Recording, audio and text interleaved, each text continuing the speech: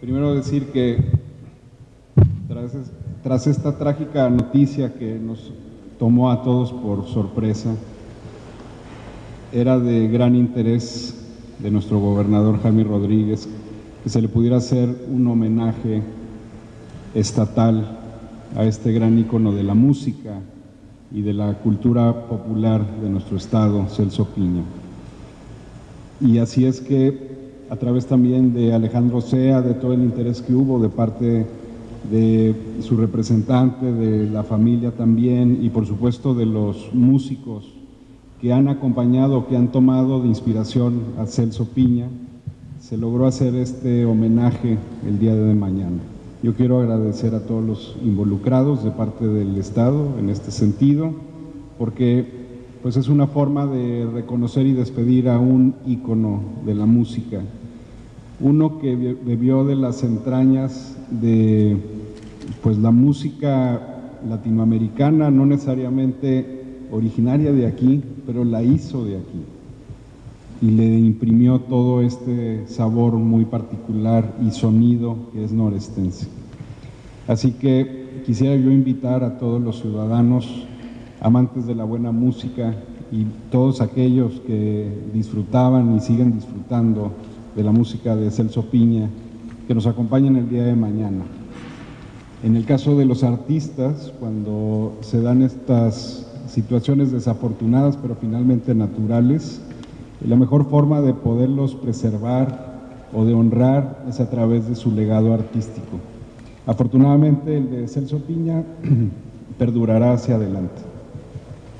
Y mañana es una forma de disfrutar y agradecer también, aunque sea de manera póstuma, este gran regalo, este gran legado. Muchas gracias. Efectivamente, pues ya está todo dispuesto para el operativo de cobertura de este evento, que obviamente es un evento masivo.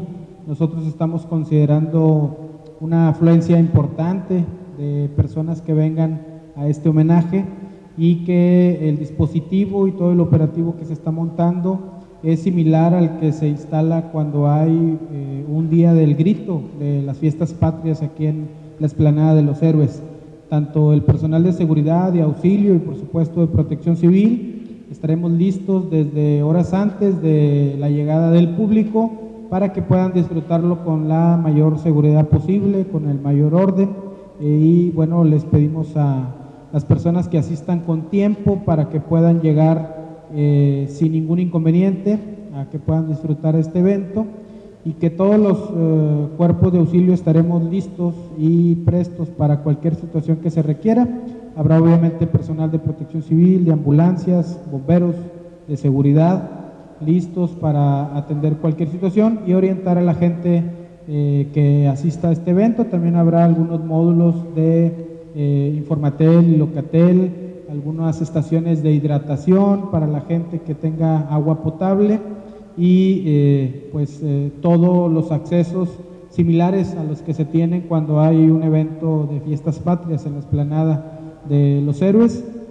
Ya está prácticamente visto todo esto, seguramente ya vieron algunas instalaciones de algunas estructuras o módulos que se están poniendo el día de hoy y que el día de mañana para mediodía seguramente ya está instalado físicamente todo el equipo, todas las instalaciones que son necesarias para un evento de esta magnitud. Sí, se va a hacer un montaje similar al de las fiestas patrias en la esplanada de los héroes, en donde se divide por sectores toda la esplanada y también se tiene previsto un operativo con tránsito en Monterrey que conforme vaya arribando la gente a la esplanada de los héroes, en algún momento pudiera haber algunos cierres viales, principalmente por las calles 5 de mayo a la altura de Escobedo y Zaragoza a la altura de Washington para evitar que pueda haber algún riesgo con los asistentes a, a este evento. Bueno, nosotros tuvimos un termómetro muy importante para nosotros que fue la misa que se realizó el día sábado, desde las capillas marianas, todo el recorrido hasta el santuario y el recorrido por la colonia eh, el Cerro de la Campana, tuvimos una asistencia aproximada de 20 a 25 mil personas. Entonces nosotros estamos esperando esa misma cantidad o, superior Entonces para eso está montado el dispositivo eh, similar al que se hace en un día del grito. Un día del grito pueden llegar hasta 60, 70, 80 mil personas. Sin embargo, bueno, nosotros creemos que seguramente va a ser similar o superior al que se tuvo el día sábado con las actividades que tuvieron eh, en, ese, en esos lugares.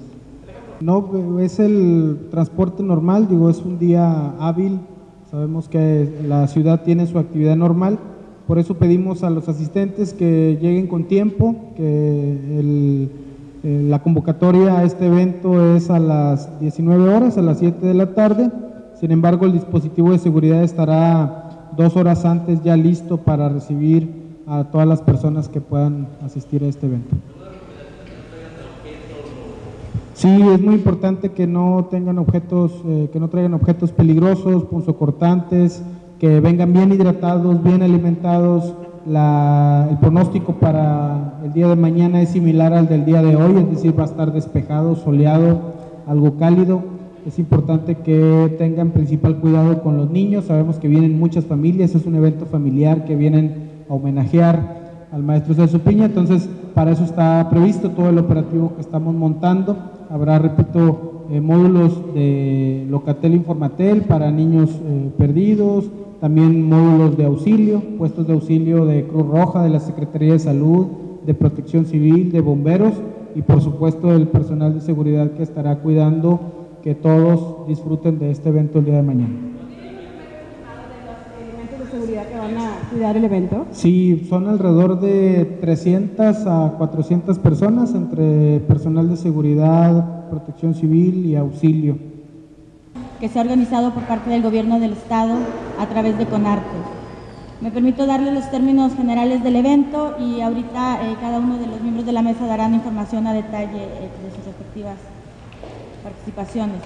Por mi parte comentar, el homenaje está programado para el día de mañana, martes 27 de agosto, a las 7 de la tarde, 19 horas, en la explanada de los héroes. Se va a contar con la participación de aproximadamente 80 músicos de la localidad. Ahorita eh, les circularemos la lista de todas las bandas o artistas individuales que estarán participando. Me permito mencionar solo algunos de ellos. El Gran Silencio, Jesús Arriaga y Homero Ontiveros de Inspector, Paco Silva, Pato Machete, Pepe Lizondo de Pesado, Sonido Dueñez, entre muchas otras bandas.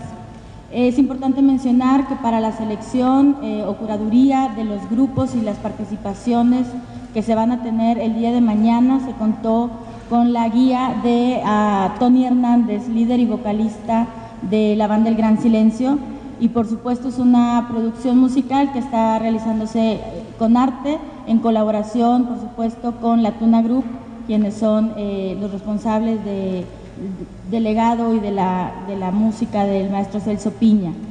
Eh, la intención es que mañana se haga un recorrido histórico por la trayectoria musical del maestro Celso Piña, 40 años de trayectoria, y bueno, es, un concierto obviamente gratuito para todos, esperamos que eh, se sume toda la comunidad en torno a la música del maestro Celso Piña y en general en torno a la cultura popular de, nuestro estado. La música que se va a interpretar son eh, canciones de Celso Piña, es decir, el repertorio del maestro Celso Piña en su totalidad por las otras bandas, junto con la Ronda Bogotá, por supuesto. Aproximadamente 25 números musicales. Para concluir, reiterar nuestro agradecimiento a la familia, quien por conducto de Alejandro Sea y por supuesto Alejandro han aceptado y han recibido eh, con, mucho, eh, con mucho gusto este homenaje y con mucha aceptación. el homenaje que se le rinde al maestro Celso Piña por gobierno del Estado a través de Conarte y sobre todo porque se han sumado eh, todo su equipo de producción, ha estado muy activo este fin de semana junto con nosotros trabajando en la definición y la invitación a los grupos. Así que de nuevo muchísimas gracias, además que estarán presentes el día de mañana y eso será también muy significativo. Muchísimas gracias también a todas las instituciones del Gobierno del Estado que apoyan a CONARTE en esta ocasión para hacer posible el evento y todo el dispositivo de seguridad. Por mi parte es todo, eh, les agradecemos muchísimo, les eh, pedimos todo su apoyo para la difusión de este concierto homenaje el día de mañana, repito, a las 7 de la tarde, la Esplanada de los Héroes, el gran homenaje al maestro Celso Piña. Muchísimas gracias, buenas tardes.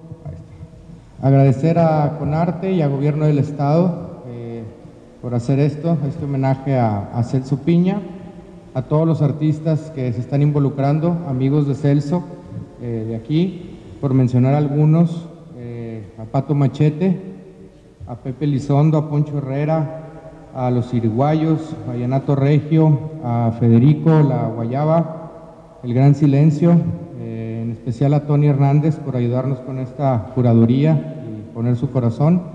Sabemos que todos los involucrados tenían un, cariño muy grande por Celso Piña y pues nada, invitarlos para que estén ahí el día de mañana en el concierto donde estará la Ronda Bogotá, que es la, la banda de Celso, y estaremos dando ahí un concierto, esperamos que, que toda la gente, fanáticos de Celso Piña, acudan a la despedida.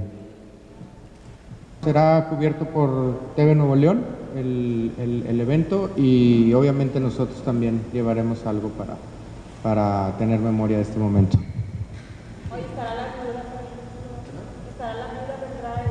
Sí, la, la, familia también estará ahí presente. Es probable que sí, sí están listas, pero es una decisión que será de la familia. Yo esa decisión se las dejé a ellos. ¿Qué duración va a tener el evento? ¿Eh? ¿La duración cuánto piensa que va a durar el evento? Empieza a las 7, a las 7 y terminamos.